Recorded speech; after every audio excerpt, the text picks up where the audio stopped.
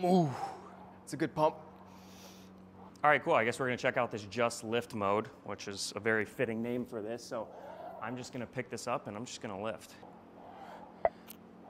Calibrate this for a few. All right, this is dope. Yeah, and the fact that I can just pick it up and go right into the next movement with minimal rest time and not changing anything on the phone, I can just pick it up and go right into it. It's a really cool feature. I like that a lot. What? Oh, there's a rest time. That's cool. Okay, so I'm gonna rest for 30 and then I can just pick up and go into the next movement. Yeah, all right, here we go. See, this is cool.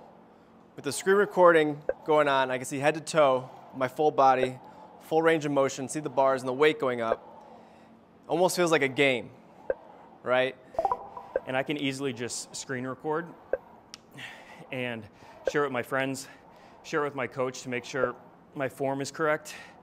And also, when I get that 400 pound back squat, I'm share it with my social because everyone's got to know that I can do that.